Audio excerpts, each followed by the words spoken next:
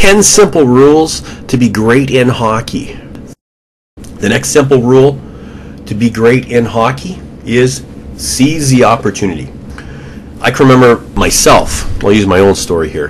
When I was 15 years old, I got brought up to Portland of the Western Hockey League for three games. It was, it was pretty neat experience. They had lots of great players uh, that later played in the National Hockey League. They had uh, Brian Curran, they had Ray Ferraro, they had Cam Neely, they had John Kordic, uh, they had all these great, great, great hockey players. Richard Kromm, all these guys that had you know, great NHL careers.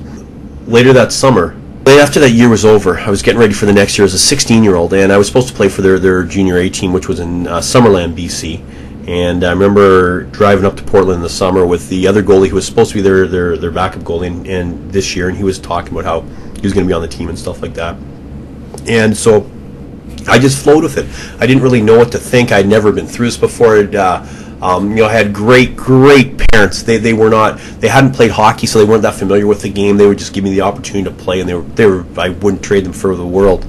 Uh, yet I didn't have any direction from, say, a hockey person who had done this before, right? Which is what we as Puckmasters, uh, one of the services that we offer to to the hockey players out there. Anyways, when I went to training camp there, I was playing fairly well, and then they they actually decided to play me for one of the uh, first games of the season, and it was uh, against Kelowna. And uh, I remember before they were putting me in for my very first game. I don't even remember if it was the start of the game or if I went in after a certain period or something like that. I think I think I started the game.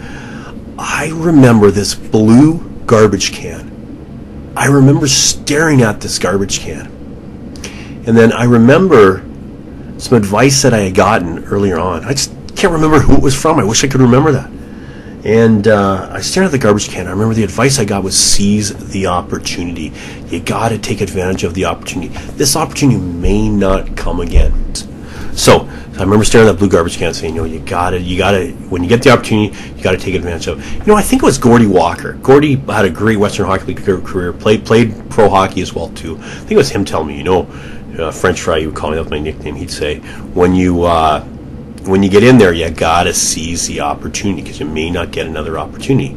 Anyways, so I remember having a great game uh, that game, and then I, I played like the next uh, five games and got like first star, second star, on the next uh, in the next five games there, and they ended up keeping me, who wasn't supposed to be on the team, and uh, sent the other uh, goalie who was a year older than me back to uh, play play junior, and or back play junior A, I think, instead of major junior.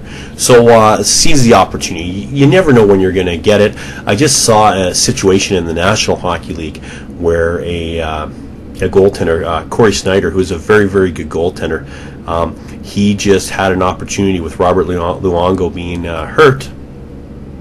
Um, he had the opportunity to play a couple games, and uh, I don't think that uh, he played as well as he wanted to and uh, so Vancouver ended up trading for another goaltender and sent him back down to the minors. He's now number four in their, their in their depth chart. And uh, who knows? I, I really uh, wish him the best and hope he does get another shot. Except you never know. You never know. When you get that opportunity, take advantage of it. Take it because it may not come again. The only day we have is today.